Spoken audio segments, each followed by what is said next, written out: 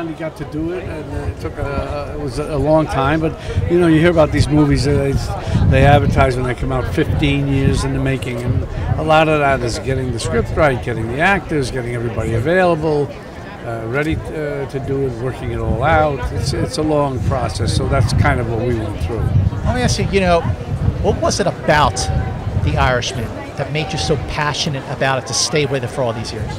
I, I uh, the story I liked, the character, the whole thing. It just felt uh, it, it, was perfect for me and Joe and, and, and Al and Marty directing us. It was just a perfect situation. What makes Martin Scorsese the greatest director of our time? Just, uh, again, I've only had one opportunity to work with him, but watched a lot of his movies. Just a lot of, love the stories, love the family, love the friendships, the relationships the characters tend to have with one another.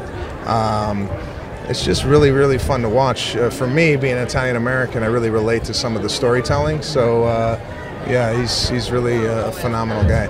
Working with, with, with Martin and with De Niro again for the first time in quite a while, what was that like for you?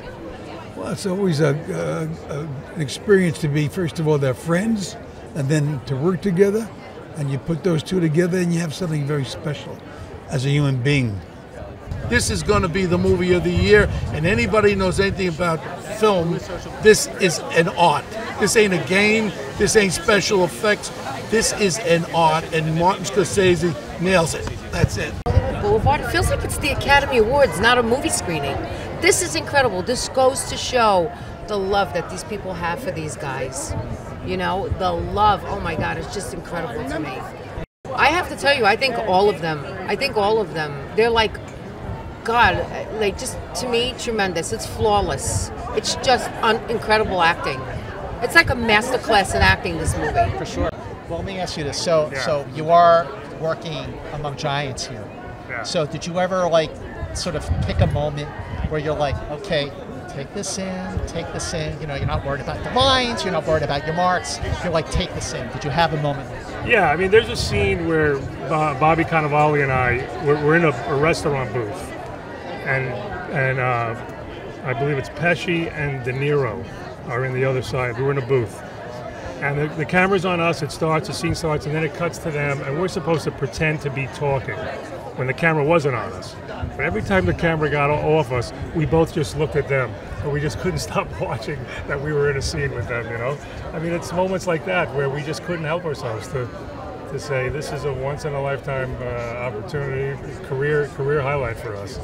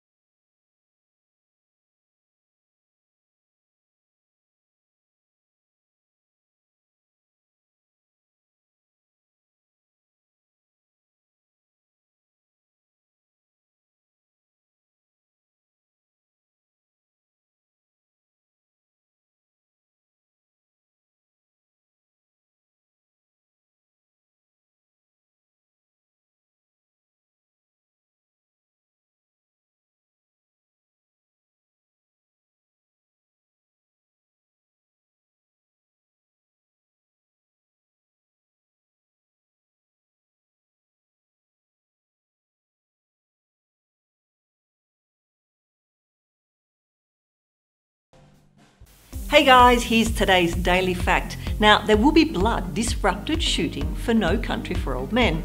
In 2007, they filmed in the same area of Marfa, Texas, which created issues when a pyrotechnical test for There Will Be Blood created a huge smoke cloud that got into the shot for No Country for Old Men. Joel and Ethan Coen had to wait for it to dissipate before they could get back to shooting. Now remember to click here below to subscribe for more great content and on the side for another video.